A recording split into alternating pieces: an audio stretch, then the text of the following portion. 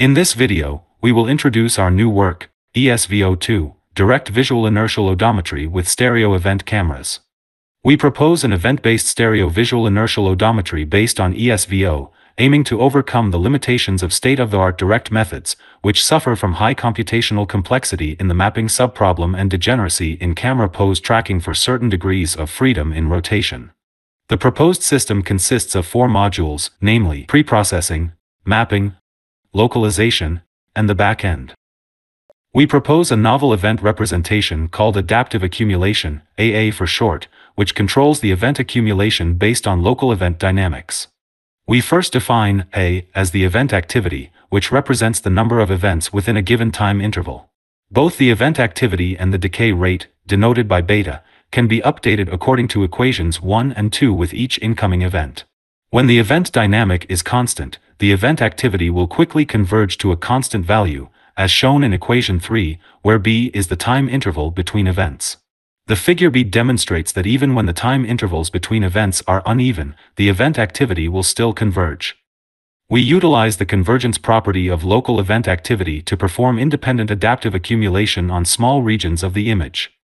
Compared to the time surface, adaptive accumulation ensures clearer contour while maintaining fewer non-edge points.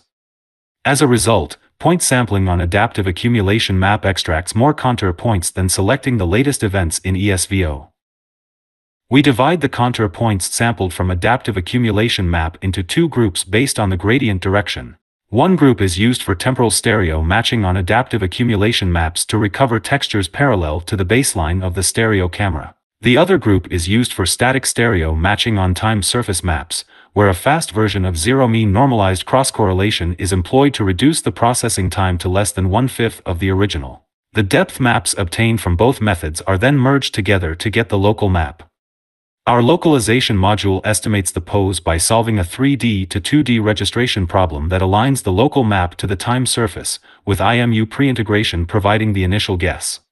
Since the time surface only has gradients on one side of the edges, which is not conducive to problem solving, a blurring filter operation is applied. However, this results in a notable offset in the location of the edges. To address this, we propose an offset-free time surface by concatenating the time surfaces before and after blurring, ensuring that gradients are present on both sides of the edge without offset. We apply a sliding window, in which the last end pose estimates and the corresponding IMU's measurements are involved. The objective is to refine the estimated linear velocity and IMU biases at the corresponding time of each involved pose by minimizing the Mahalanobis norm of IMU measurement residuals. The weights are derived from the covariance matrix in the propagation of IMU pre-integration. To assess the performance of our system, we collect our own outdoor dataset for evaluation. At the same time, extensive evaluations on five publicly available datasets featuring different resolutions and scenarios justify the superior performance of the proposed system against five state-of-the-art methods. The better estimated IMU biases and linear velocities at recent poses facilitate camera pose tracking, thus leading to a notable improvement in tracking accuracy.